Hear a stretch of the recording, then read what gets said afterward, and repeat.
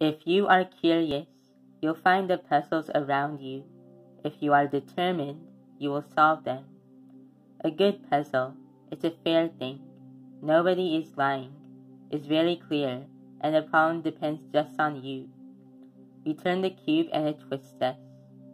Our whole life is solving puzzles. In my teaching, I enjoy creating models to clearly communicate my thoughts. The problems of puzzles are very near the problems of life. The cube can seem alive as it heats up in your hand. The fact that each face of the cube is made of three layers of three blocks has an important meaning. It was tremendously satisfying to watch this color parade. I'm still the same person, thinking the same way, so it's possible I'll invent something. I don't want to say too many words about the magic of a cube because it's basically a mystery. It's like the Mona Lisa smile. It's both complex and very simple at the same time. And well, people like it, even today. If you are not able to do something, that is true for the present, not for the future. All the time there's a chance to go a step further, not to be frustrated. I love the simplicity of the cube because it's a very clear geometrical shape, and I love geometry because it's a study of how the whole universe is structured. But for me, it was a code I myself had invented, yet I could not read it. Like after a nice walk, when you have seen many lovely sights, you decide to go home. After a while, I decided it was time to go home. Let us put the cubes back in order. And it was that at that moment that I came face to face with the big challenge. What is the way home? When you are studying from a book, lots of people go straight to the end to look for the answers. But that's not my style. For me, the most enjoyable part is the puzzle, the process of solving, not the solution itself. I do not truly consider myself an icon, but the cube has been quite successful but thanks to my invention, my capitalist friends and I were able to bring the government to its knees. The cube is an imitation of life itself, or even an improvement on life. Complex things, if you don't understand them, it seems complicated. If you understand them, and we know how to handle it, it became simple.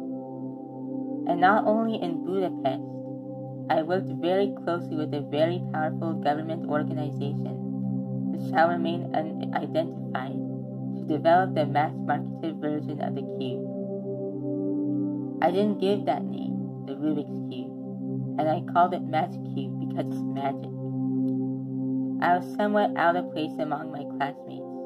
I could not be as bohemian as they were. This was such an extraordinary situation that I simply could not accept it. I'm wondering how people are so creative and how many things were born out of and inspired by the cube. Throughout history, people have enjoyed playing both silly and clever games.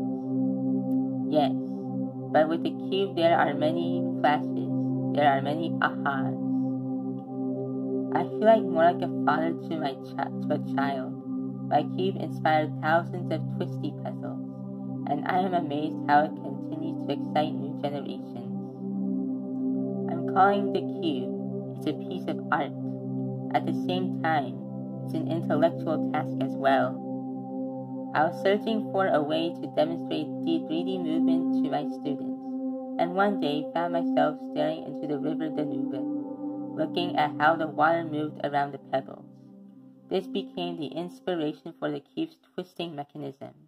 The fact that it can do this without falling apart is part of its magic.